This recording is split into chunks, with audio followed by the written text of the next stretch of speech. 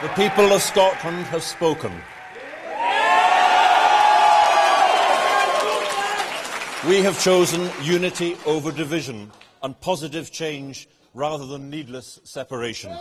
Scottish voters have rejected independence, deciding to remain part of the United Kingdom. It was a historic referendum that shook the country to its core. While most polls indicated a tighter result, Scots voted 55% to 45% against independence.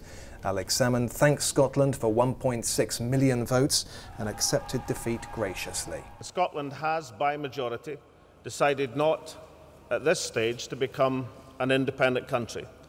I accept that verdict of the people and I call on all of Scotland to follow suit in accepting the democratic verdict of the people of Scotland. He went on to say that 86% turnout is one of the highest in the democratic world for any election or referendum in history. I'm proud Scot, I'm proud to be British, I want to be part of the UK. I want you all to... believe it now?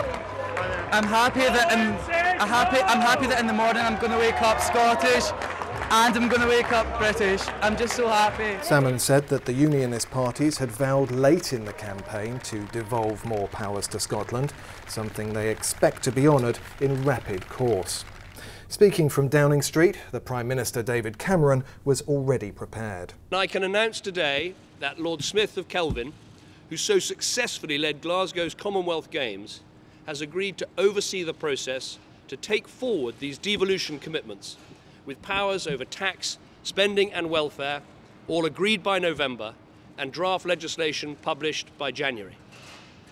Just as the people of Scotland will have more power over their affairs, so it follows that the people of England, Wales and Northern Ireland must have a bigger say over theirs.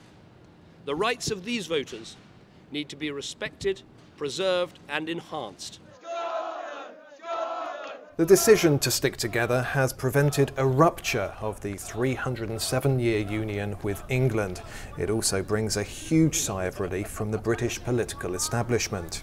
I think over the last few weeks, uh, we have seen a scare and a fear of enormous proportions, not the scaremongering directed at the Scottish people, but the scare and the fear at the heart of the Westminster establishment as they realised the mass movement of people that was going forward in Scotland. Many saw the build up to the vote as a heads versus hearts campaign, some concluding that independence would be too risky financially, while others were enamoured with the idea of building their own country. Now we must look forward and turn this into the moment when everyone, whichever way they voted, comes together to build that better, brighter future for our entire United Kingdom.